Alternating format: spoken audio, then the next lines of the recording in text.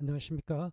공야매 농원의 2023년 5월 10일 수요일 영상 일기입니다.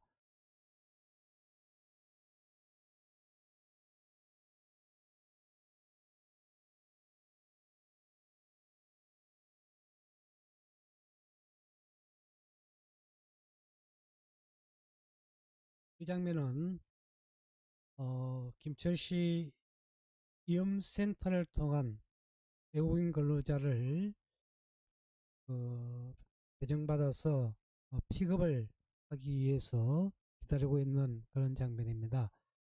아침 5시 10분에 어, 약속 장소에서 어, 픽업을 위해서 기다리고 있는 장면입니다. 어, 자두 농원 현장입니다.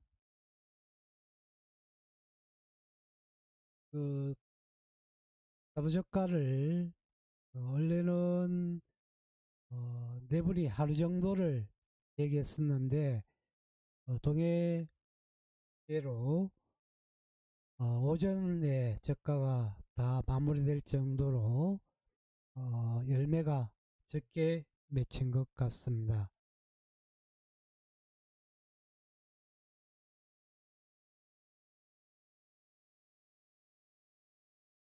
어, 그래서 어, 오후에는 복숭아 농원에 어, 복숭아 젓가를 어, 했습니다.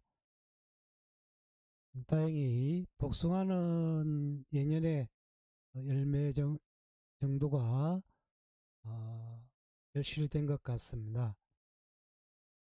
어, 젓가를 해주신 분들은 어, 캄보디아 분들이신데요. 그 구글 번역기를 이용해서 그 소통을 하니까 어, 소통에는 전혀 문제가 없었습니다. 어, 상당히 그 성실하게 성심껏 일을 해주신 데 대해서 감사를 드립니다. 그리고 이용센터도 친절하게 모든 것을 어, 타질 없이 그 진행해 주셔서 대단히 고맙다는 인사를 드립니다.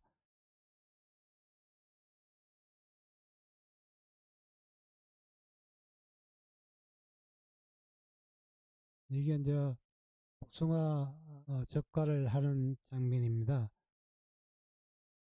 음, 그리고 이제 그 한 분이 SNS를 하시는 분이 있어서 이렇게 또 어, 속담니힘이신 분인데 페이스북 친구 맺기를 한 이러한 또 인연도 만들어졌습니다. 이것은 제 아내가 홍 여사님이 나도젓가를 하는 장면입니다. 나도 어, 동해 피해 때문에 그런지 어, 열매는 적게 왔는데 덕분에 어, 알 굵기는 또 괜찮은 것 같습니다. 어, 벌써 어린제 등 어, 병해충 피해도 어, 많이 발견돼서 어, 수확량이 원하는 것만치 나올 수 있을지 걱정은 됩니다. 김천시 보건소에서 저희 마을을 생명사랑 마을로 지정되어 있는데요. 매년 이 농약 보관함을 보관 상태를 점검을 하도록 되어 있습니다. 그래서 이 자율 점검을 통해서 사진을 보내달라고 그래서 이렇게 사진을 보내줬습니다.